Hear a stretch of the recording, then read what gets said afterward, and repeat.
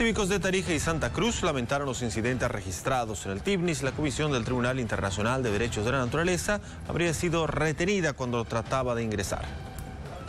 El cívico cruceño Fernando Cuellar lamentó que la Comisión Internacional en Defensa de la Naturaleza no hubiera podido ingresar al polígono 7 en el TIGNIS. El hecho que una persona sea retenida contra su voluntad está expresando nomás que hay un secuestro como quieran llamarlo, le están privando del derecho a la locomoción que tiene, le están privando del derecho al libre tránsito que tiene cualquier ciudadano que está en Bolivia. Juan Carlos Ramos, cívico de Tarija, cree que fue un abuso retenerlos en el polígono 7 a esta comisión internacional. Y obviamente ocultar todo lo que está significando el atropello a nuestras áreas protegidas.